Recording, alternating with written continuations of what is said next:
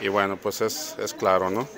De alguna manera, en, el aspecto eh, del arranque de la campaña con los señalamientos infundados que hacía hacia nuestra candidata y bueno, pues usando eh, sus derechos, pues también eh, el, el, equipo ha contestado. Desde el desarrollo del inicio de las campañas, pues ha sido frontal, eh, frontal e infundados precisamente los ataques y bueno, pues en, en, en este sentido el equipo jurídico ha reaccionado y pues ella tendrá que responder. ¿Por qué por la vía penal? Bueno, yo, creo que es parte de lo que nos permite eh, la ley ante los temas y, los señalamientos, reitero, eh, infundados y, y, calumniosos.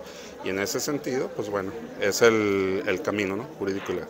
Yo en este sentido, pues apelamos nuevamente a los diferentes eh, partidos y candidatas pues a que construyamos un proceso precisamente de propuesta.